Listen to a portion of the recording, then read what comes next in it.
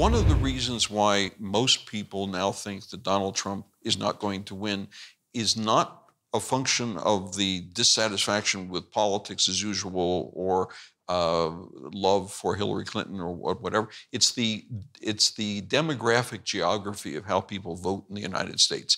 It isn't a national popular vote. You total up every vote and say, done, finished. 23 million versus 22 million. The winner is.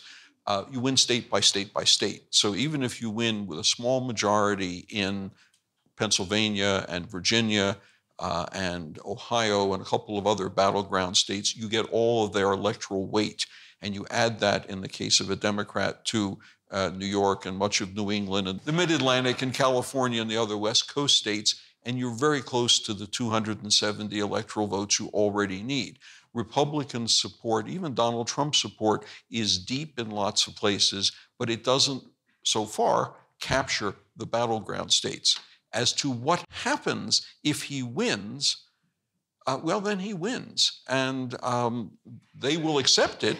Um, Al Gore accepted the fact that he lost the election in 2000 by a vote of five to four in the Supreme Court on the last case at the last hearing uh, which, which agreed that the, the most recent recount of the, uh, the results in Florida was the prevailing win, and as a service to the country, basically said, I don't like it, but I have to agree with it. Hillary Clinton will agree with it, and then we'll begin to see whether Donald Trump is the iconoclast he says he is, or whether the pressures from the rest of the party in Congress push him towards something resembling a Republican as we have seen them before. The second half of this, the other question about is there a middle way? This duopoly in American politics, first past the post in every state or every election, makes it difficult. I was just writing a profile today of um, Gary Johnson, name nobody here has ever heard of, I'm sure. Um, he's running as the presidential candidate of the Libertarian Party.